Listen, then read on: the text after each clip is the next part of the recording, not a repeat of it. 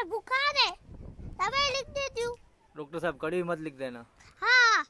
Doctor साहब कड़ी दवाई मत लिख देना। हाँ ठीक है ठीक है। डॉक्टर साहब प्लीज़ कड़ी दवाई मत लिख देना। तो एक किलो